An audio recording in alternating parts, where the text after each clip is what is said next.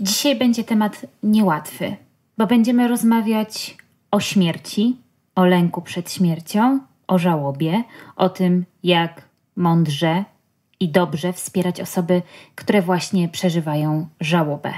A do tej rozmowy zaprosiłam najlepszą znaną mi ekspertkę, dr Natalię Liszewską, wykładowczynię Uniwersytetu SWPS, psychoterapeutkę poznawczo-behawioralną, interwentkę kryzysową, certyfikowaną specjalistkę przeciwdziałania przemocy, założycielkę Instytutu Terapii Poznawczo-Behawioralnej.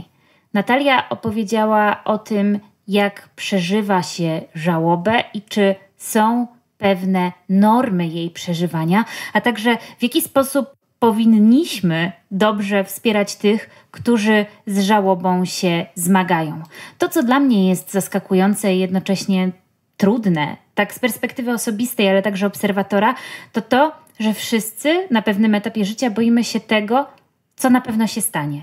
Bo na pewno wszyscy prędzej czy później umrzemy. I rozumiem, że ten lęk może być bardzo różny, jeżeli obawiamy się o śmierć własną lub, od, o, lub o śmierć kogoś, kto jest nam bliski, ale jest to temat, do, co do którego nie zawsze wiemy, jak się odnieść. I myślę sobie też, że nie ma odpowiedzi, które byłyby dobre i złe, nie ma dobrej i złej żałoby. Jest przeżywanie, ale to, co jest pocieszające i myślę wybrzmiewa z tej rozmowy, to to, że mamy zasoby, aby z żałobą sobie radzić, a dla mnie osobiście pocieszające jest to, że gdzieś na końcu czeka ta reorganizacja i życie. I to daje nadzieję. Nazywam się Joanna Gutral. To jest podcast y, Gutral Gada i w pierwszych słowach tego podcastu, oprócz przedstawienia gości i zajawki tematu, bardzo chcę podziękować matronom i patronom za to, że wspierają podcast Gutral Gada. Jeżeli chcesz dołączyć do tego grona, zapraszam na mój Patronite. A teraz zaczynamy podcast Gutral Gada. Oto kolejny odcinek. Tym razem rozmawiamy o odchodzeniu, o żałobie i o nadziei.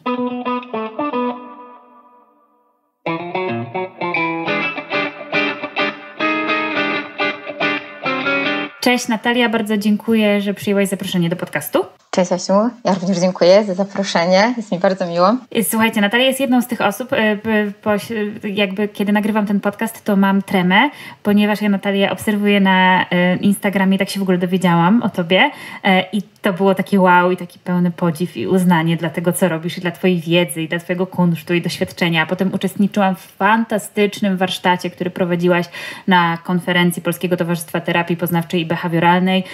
No to już w ogóle, wiesz, tam tęcze, serduszka i wszystkie iskry uznania szły w Twoją stronę, więc nieśmiało napisałam, czy się zgodzisz, że tak entuzjastycznie się zgodziłaś, że w ogóle no, miód na moje serce, bardzo Ci dziękuję, ale będziemy rozmawiać o kwestiach. Um, trudnych, mhm. o kwestiach, które bardzo wiele osób chce ominąć, um, chociaż bardzo się ich boi.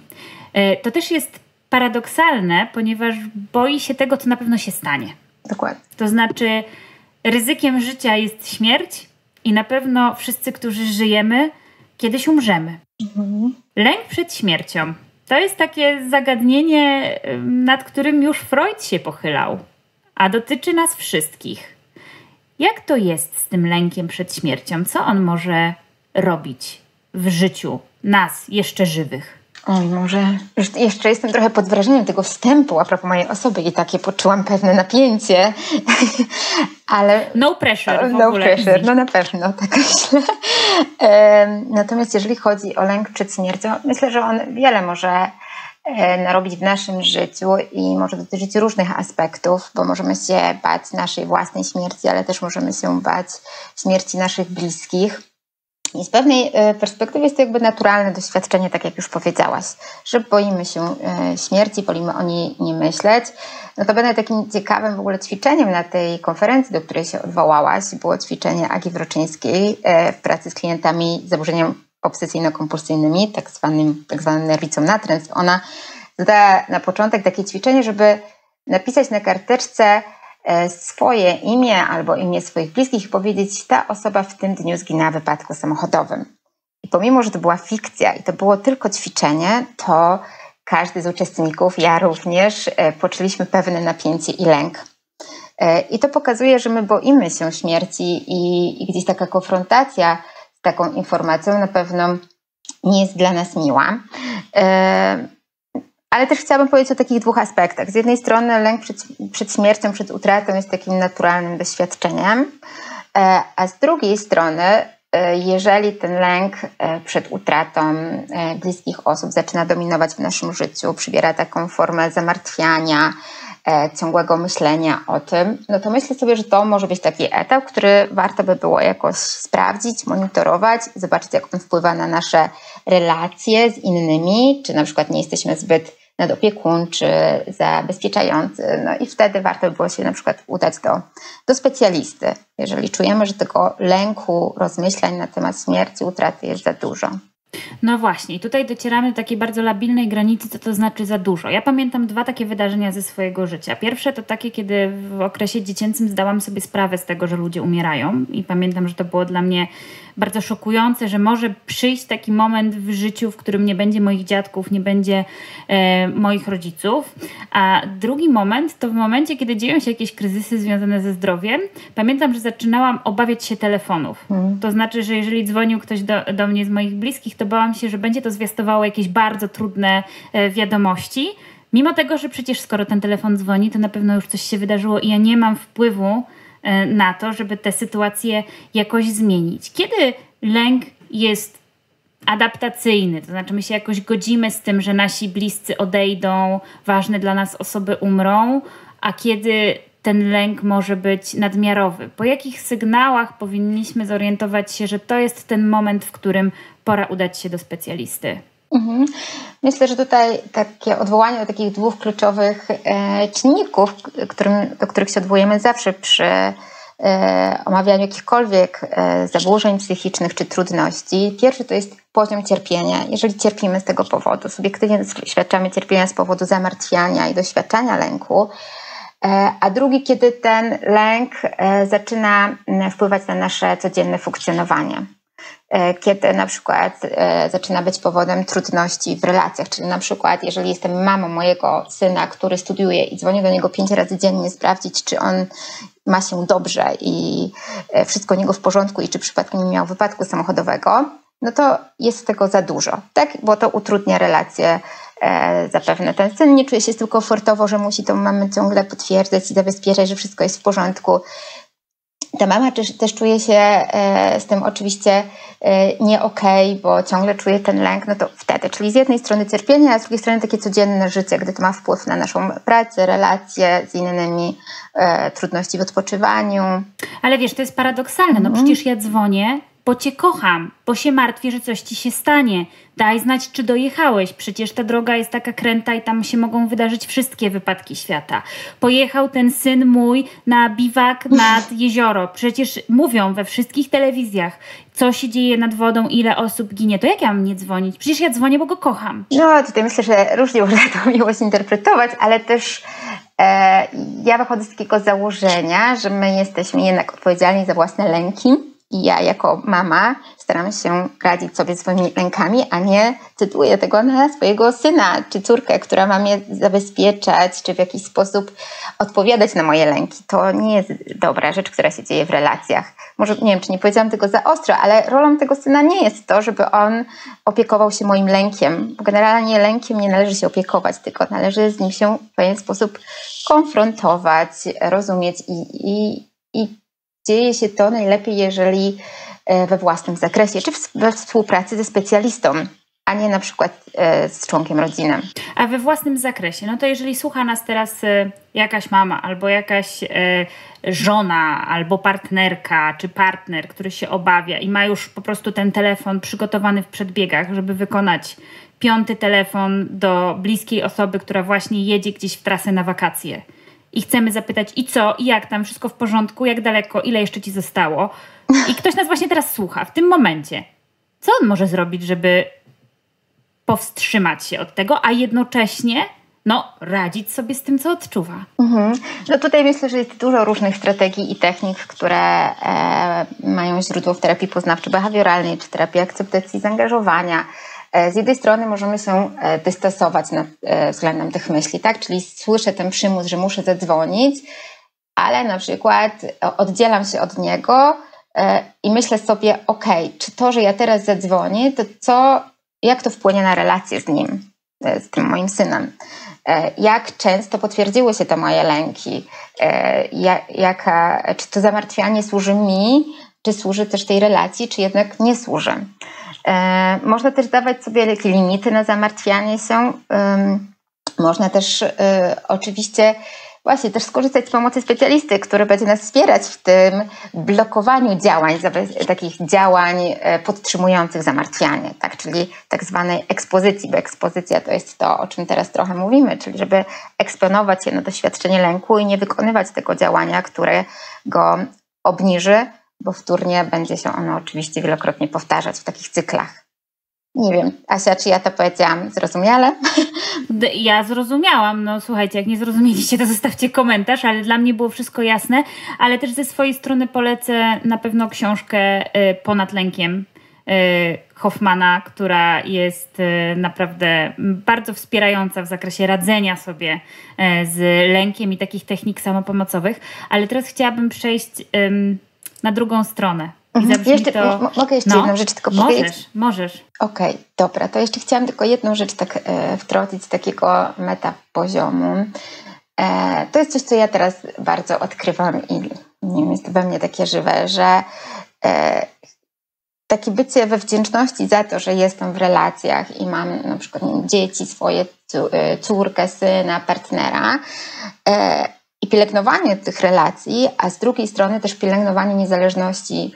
E, mówię tutaj o takim, mm, takim definiowaniu siebie nie przez relacje z innymi, że ja jako Natalia jestem odrębną osobą i moje dzieci czy mój partner pojawiają się w jakimś fragmencie e, mojego życia, na linii mojej życia i tak samo ja się pojawiam w jakimś fragmencie ich życia, a nie jestem definiowana przez to, że jestem tylko i wyłącznie mamą, czy tylko i wyłącznie partnerką. E, I to myślę sobie takie budowanie z tej strony wdzięczności, dbanie o tej relacji, ale też budowanie takiej e, niezależności i rozumienia się, że ostatecznie na tym świecie jesteśmy my, jako jednostka, ja, Natalia, nie, mój syn Błażej. E, I takie niesklejanie się, niedefiniowanie siebie poprzez relacje z innymi. I myślę, że to może być pomocne w kontekście pracy z lękiem o bliskich, e, jakimś godzeniu się też z utratą bliskich. E, powiedziałaś o wdzięczności. Ja miałam taką, tak, tak się we mnie coś zadziało, bo ta wdzięczność w takiej przestrzeni popkulturowej mhm. strasznie się wyprała. Wiesz, ona brzmi naiwnie, mhm. że jak mówimy poczuj wdzięczność, to ludziom się kojarzy, o to co, to mam teraz wszystko odrzucić, powiedzieć, oj dziękuję Ci losie wspaniały i piękny, że przyszło mi tutaj żyć. Ludzie na nas, terapeutów, patrzą jakbyśmy sami potrzebowali srogiej pomocy, kiedy mówimy o wdzięczności. Czym jest ta wdzięczność? Czym jest dobra praktyka wdzięczności w takim wypadku, w jakim omówiłaś? Że co? Że cieszę się, że nie wiem, jest mi dane e, w jakimś etapie życia być e, mamą mojego dziecka. Mm, nie wiem, ja tak myślę, że nie, rozumiem tego jakoś super górnolotnie, nie uprawiam jakiejś szczególnej medytacji na ten temat, czy afirmacji, nawet nie prowadzę dzienniczka wdzięczności, chociaż są takie też metody zalecane i ich skuteczność jest potwierdzona.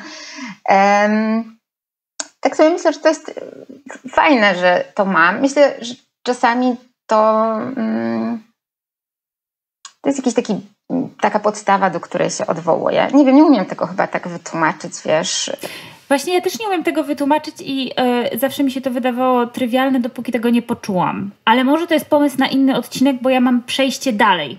Ja mam przejście na drugą stronę i to będzie e, poniekąd metaforyczne przejście w naszej rozmowie, ale chciałabym rozmawiać teraz o tym, co się dzieje po śmierci. Nie osoby, która umarła, ponieważ tutaj żadnej duchologii uprawiać nie będziemy, ale co się dzieje z ludźmi, którzy pozostali. Bo wiesz, to jest też to, co straszy. Co się wydarzy, co się ze mną stanie, kiedy ktoś z moich bliskich osób umrze, odejdzie. Czyli najpierw bardzo boimy się tego, żeby nie umarły, a kiedy to się dzieje, to napawa nas lękiem i co teraz? Jak to jest z tą żałobą? Bo też różne doniesienia pojawiają się w literaturze. Niektórzy mówią, że normatywny okres trwania żałoby to rok, niektórzy, że trzy miesiące. Jak to jest? To się w ogóle da zmierzyć? Przede wszystkim myślę sobie, że faktycznie, tak jak powiedziałaś, jest bardzo dużo mitów na temat y, żałoby i chyba te mity bardziej komplikują tą żałobę niż ona właściwie nią jest. E, bo tak jak wcześniej też powiedziałeś, zapowiedzieć, że żałoba, czy w ogóle lęk przed śmiercią, ale tak samo e, utrata jest czymś takim naturalnym. E, i bardzo jakby mocno i radykalnie stoję po tej stronie, że to jest indywidualny proces. I strasznie wkurza takie sformułowanie, często też realizowane przez psychologów, psychoterapeutów, e, nieprzepracowana żałoba, która jakoś zakłada, że jest jakiś kurczę wzór na to, do którego klient ma się dopasować, czy klientka, czy nie dopasować i że coś zrobiła dobrze lub niedobrze. I od tego jest zaraz bardzo blisko taki, e, takie wejście do takiego ciemnego pokoju poczucia winy, że ja tą żałobę przeżywam nieodpowiednio, bo przecież w artykule XY napisali, że jest pięć etapów, a ja przeszłam dwa i pół, a właściwie to się cofnęłam do jedynki i nie wiem, czy to dobrze. A koleżanka powiedziała, że e, za dużo mówię, za mało mówię, zbyt dużo się uśmiecham albo za mało się uśmiecham.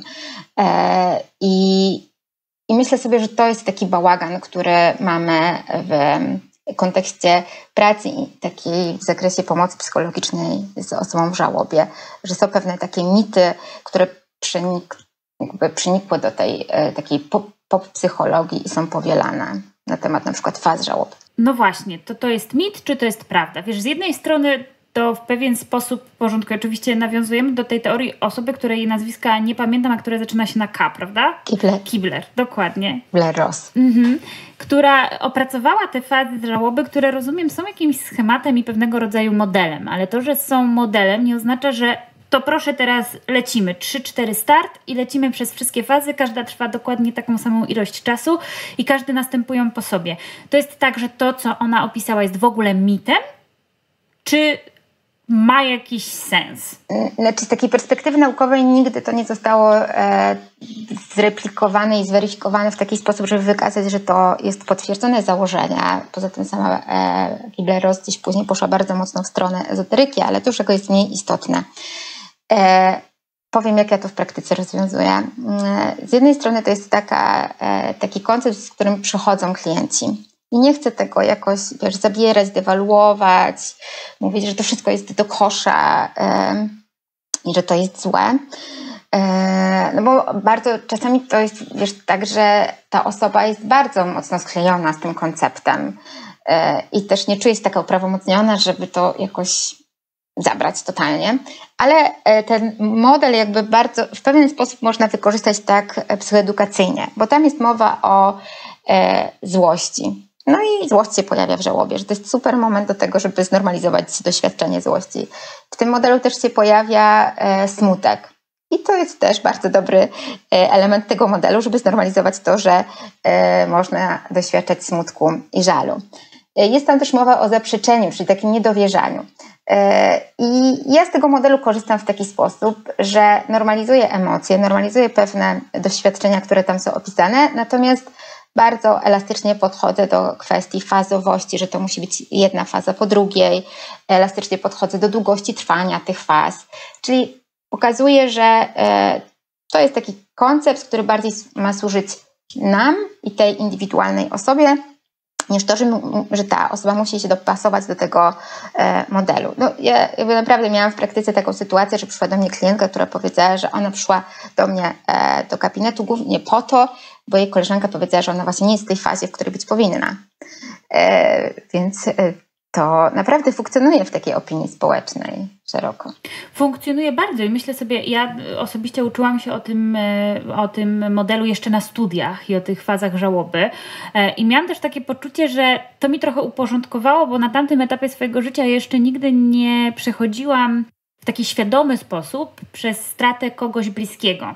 Trochę nie wiedziałam, jak to będzie, i sama myśl o tym, że gdzieś na końcu przychodzi reorganizacja, dawała dużą nadzieję i była w jakiś sposób wspierająca. Ale mamy, no tak jak sama mówisz, pewne oczekiwania i normy społeczne dotyczące żałoby, o których y, zaraz sobie jeszcze porozmawiamy. Tylko ja mam inne pytanie. Przychodzi pacjent do gabinetu, mówi: Straciłem, straciłam bliską osobę. Co się dzieje dalej? W moim doświadczeniu dzieje się piękny proces, którego mogę być częścią. Ja naprawdę bardzo ciepło wspominam pracę z moimi klientami, którzy przeżywali żałoby. To były. Um, no, jakby nie chcę tutaj jakoś wartościować, to było lepsze, to było gorsze, bo to nie o to mi tutaj chodzi, ale na pewno to są. E, rozpoczyna się pewien taki proces, gdzie jest miejsce na wszystko. Na złość, na smutek, na żal, na zagubienie, na wkurzenie. I wiesz, to też jest jakaś taka e, sytuacja, w której jak przychodzi klient, e, który doświadczył śmierci bliskiej osoby, e, że my możemy też towarzyszyć w jakiejś takiej zmianie i obserwowanie tego też wpłynęło na to, że ja zupełnie inaczej zaczęłam podchodzić do lęku przed utratą, e, e, przed, przed żałobą, przeżywaniem żałoby bo widziałam, jak osoby, które doświadczyły naprawdę traumatycznych śmierci, to bardzo skomplikowanych historii, śmierci samobójczych i, i w tragicznych okolicznościach. I oczywiście słysząc te historie, na początku byłam e, mocno przerażona i konfrontowałam się z własnym lękiem, ale później te procesy dawały mi dużo takiej e, mocy, bo widziałam, jak ta osoba się zmienia i jak właśnie ten frazy z typu, że żałoba jest naturalnym procesem, który my potrafimy zrealizować jako ludzie, że mamy takie mm, mm, mechanizmy adaptacyjne, elastyczność, e, jakoś widziałam na własne oczy i teraz to wpłynęło na to, że mniej się boję tego. No, trochę to, co przeżyte i oswojone, zobaczone, także oswojone poprzez obserwacje, jakoś staje się um, takim naturalnym czynnikiem, który obniża nasz, nasz poziom lęku.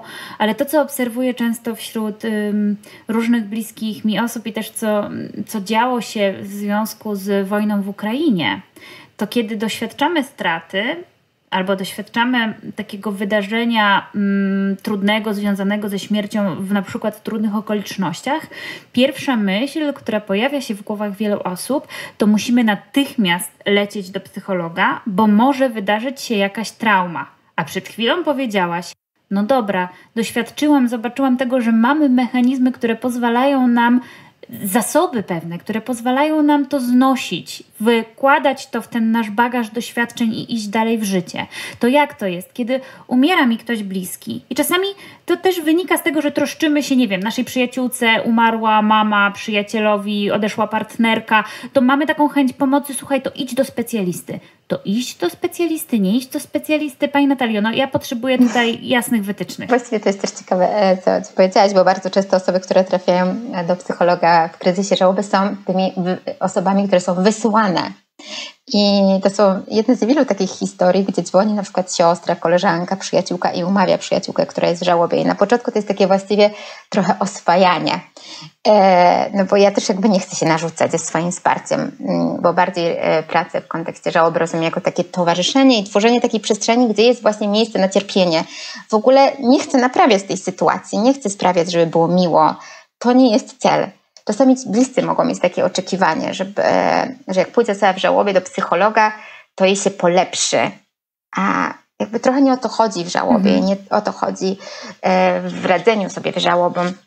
E, chodzi bardziej o to, żeby pozwolić sobie na to cierpienie. I czasami tym bliskim jest trudniej z tym cierpieniem niż tej osobie, która jest w żałobie. I w związku z, tego, w związku z tym, mm, znaczy w wyniku tego pojawiają się różne komplikacje, takiej e, jakiejś wzajemnej troski, która się komplikuje. Tak, bo na przykład wiele było rozmów z moimi klientami e, czy klientkami, które doświadczyły żałoby, o tym, że one na przykład boją się płakać przy swojej mamie, bo nie chcą martwić mamy, że płaczą. E, a ta mama nie chce martwić swojej córki, no bo też jest żałoby, bo na przykład zmarł zięć.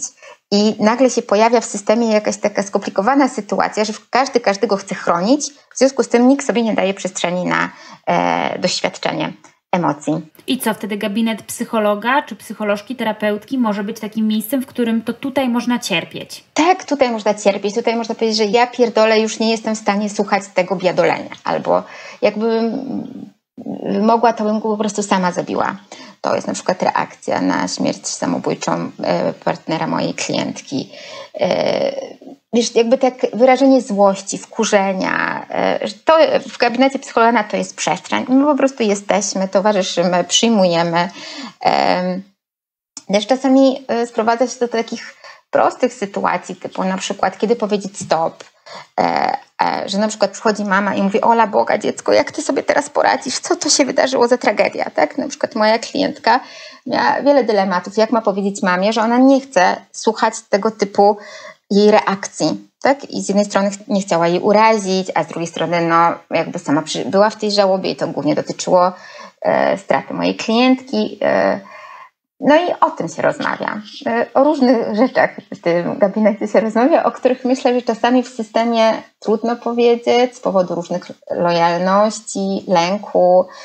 Uczę, uczymy się też właściwie e, takiej formy przyjmowania pomocy czy proszenia o pomoc, bo często żałoba i kryzys utraty jest takim pierwszym momentem, gdy dana osoba się konfrontuje z tym, że potrzebuje pomocy, potrzebuje wsparcia na przykład, nie wiem, żeby ktoś zawiózł dziecko na koszykówkę, bo wcześniej robił to tato, a teraz już nikt inny nie może tego robić. Znaczy, teraz już tato tego nie może robić, więc może to zrobić jakiś tato kolegi z klasy. Jak o to zapytać, jak o to poprosić. Yy, wszystkie wątki związane z domyślaniem się, z taką, a nie inną reakcją. Yy, więc o tym, właściwie o relacjach. Powiedziałaś, że ta żałoba jest bardzo różna i nie ma takiego jednorodnego przebiegu, który byłby typowy dla wszystkich. W tych pierwszych momentach, kiedy ktoś do ciebie zgłasza się, przychodzi do gabinetu, co zazwyczaj widzisz? Nic nie czuję, czy złość, czy smutek, ile tam jest tych wariantów, których ty doświadczyłaś jako terapeutka, bo myślę sobie, że pokazanie tego, jak bardzo różne oblicza ma żałoba, jest w pewien sposób również no, normalizująco. Otwierające oczy na to, że to nie zawsze jest czarna woalka i czarne ubrania przez określony okres i chlipanie na zawołanie, a że te reakcje potrafią być przeróżne. Mhm. E, no faktycznie, znaczy myślę sobie, że dla mnie takim dużym zaskoczeniem e, było to, jak dużo jest złości jednak. E, jest złości na to, co jest tu i teraz, złości na przeszłość, e, też poczucia winy, że mogłam zrobić coś, żeby zapobiec śmierci, zapobiec danej stracie. To jest taka mantra, która często się pojawia u osób, które straciły bliskich w takich traumatycznych okolicznościach, czyli na przykład nie były świadkami e, utonięcia czy jakiegoś wypadku komunikacyjnego. To bardzo dużo jest takich myśli, szczególnie na początku to jest gdybyśmy nie zrobili tego i tego, to wtedy on by żył. Gdybyśmy pojechali 10 dni na wakacje, to nie doszłoby do tej tragedii. Gdybyśmy e, nie skręcili na tą stację, to nie doszłoby do tego wypadku. Więc dużo jest tak, takich reakcji na początku. E, żalu, smutku, ale też złości na bliskich, na tych, co przeżyli, złości, nie wiem, na przykład na siostrę, której mąż żyje, a mój nie. Więc e, dużo jest takiego żalu pomieszanego ze złością.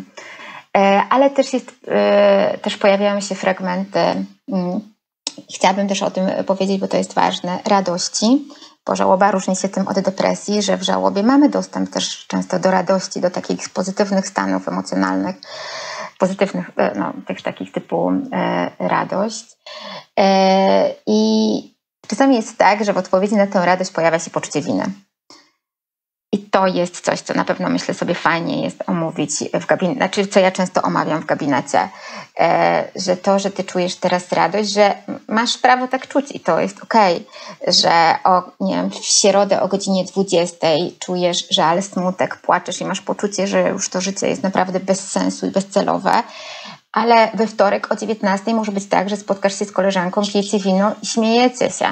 I to pomimo, że od śmierci minęło, nie wiem, trzy tygodnie, pięć dni czy cztery miesiące, e, że na takie doświadczanie radości też jest miejsce.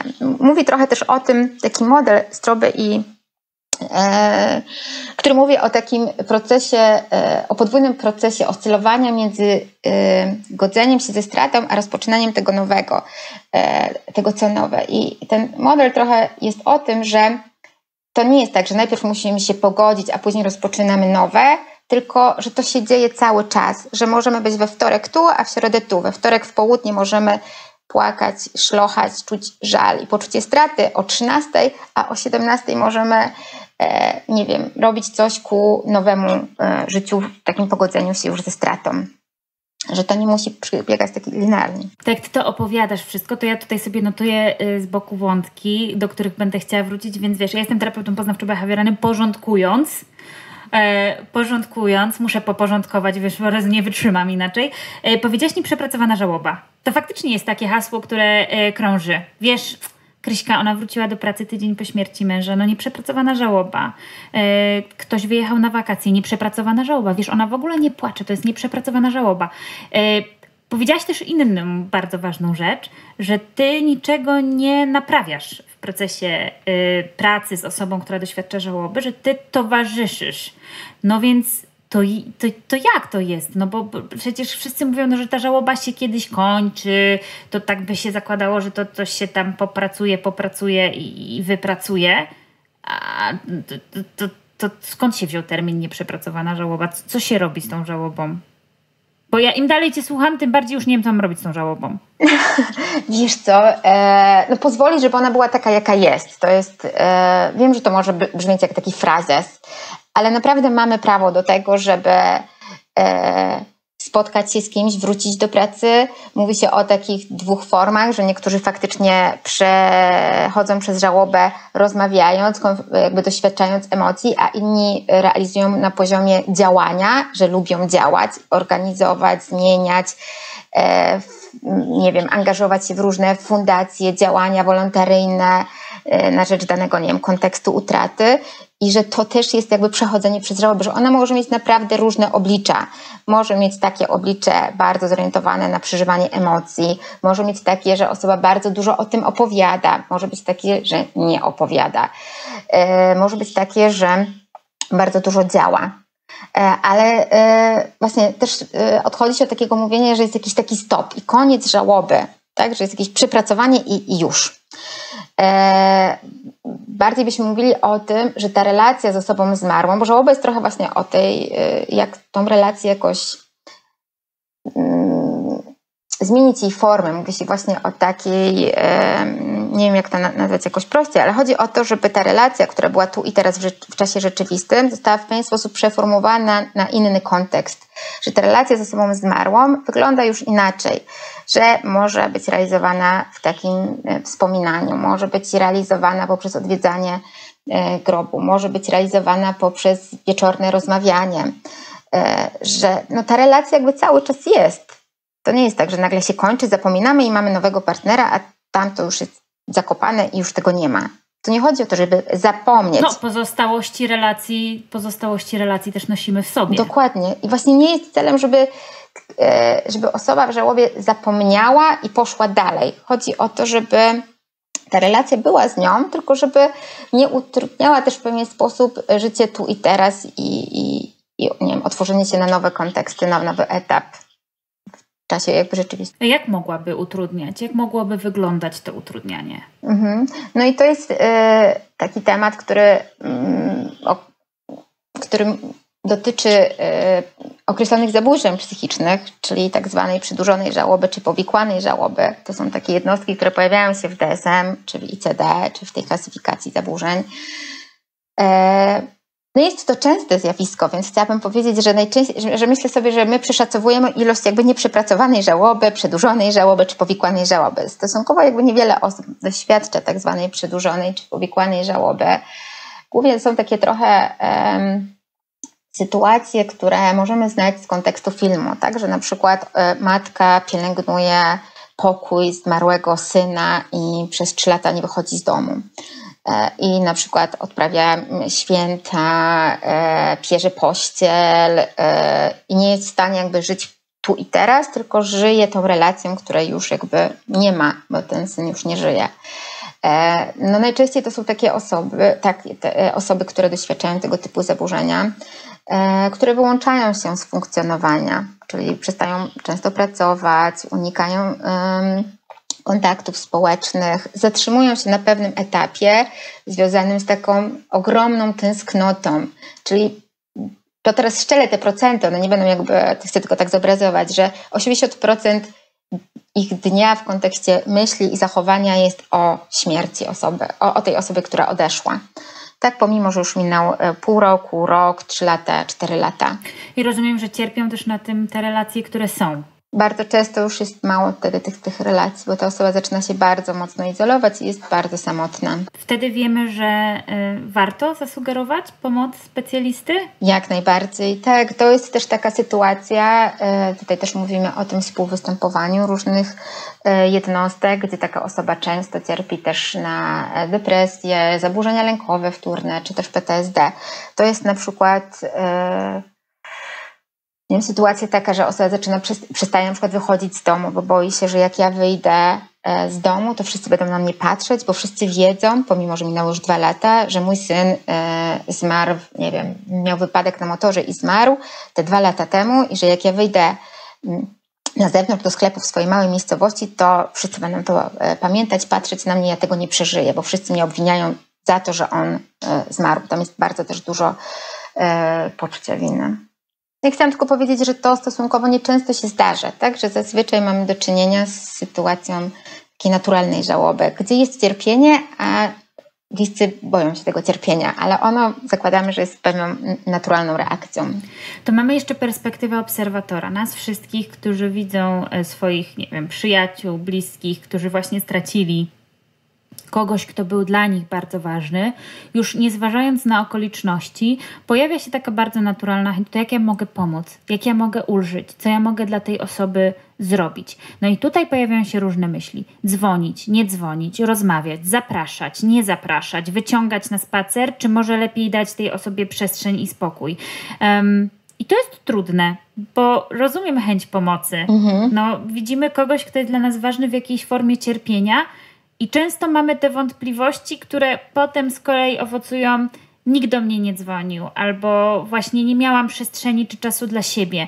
Jak mądrze pomagać mhm. osobom, które doświadczają żałoby? E, jakby tak najprościej to po prostu można zapytać. Słuchaj, co ja mogę dla ciebie zrobić teraz, tak zwyczajnie i po prostu.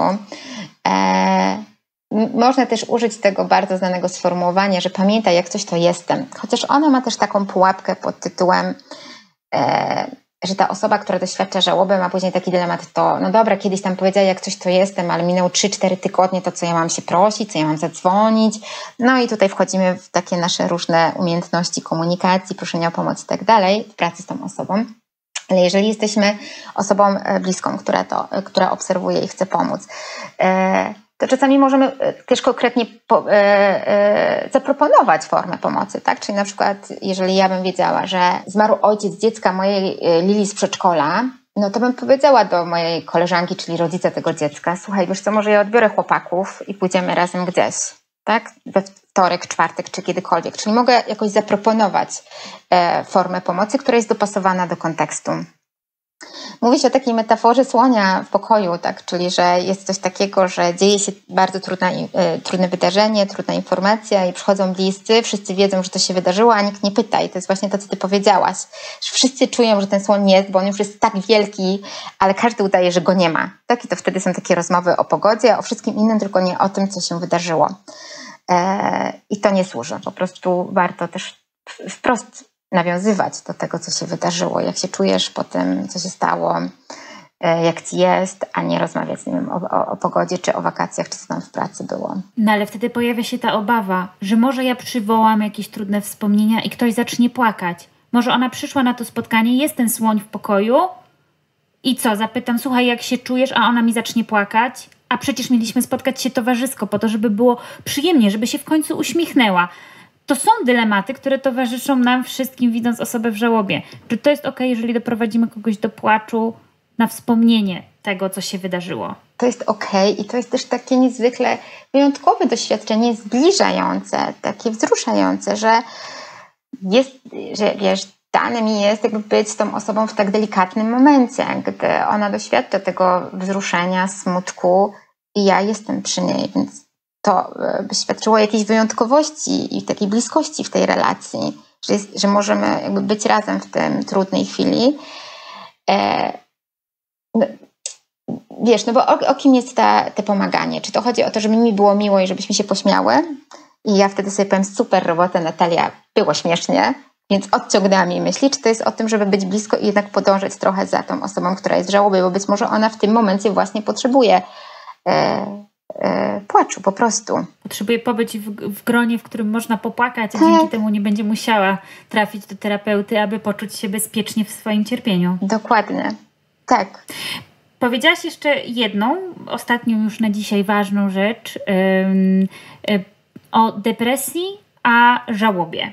Często nam się to miesza i też e, odbieram czasami telefony od różnych moich znajomych, mówiąc, słuchaj, to ona straciła męża trzy tygodnie temu, to już chyba jest depresja. Czym się różni depresja od żałoby i czy w momencie doświadczenia żałoby możemy mieć stany depresyjne, które jednocześnie nie będą spełniały kryteriów zaburzenia depresyjnego? E, tak, na pewnym takim e, powierzchownym poziomie możemy powiedzieć, że ten przebieg jest podobny, bo jest dużo smutku i łez.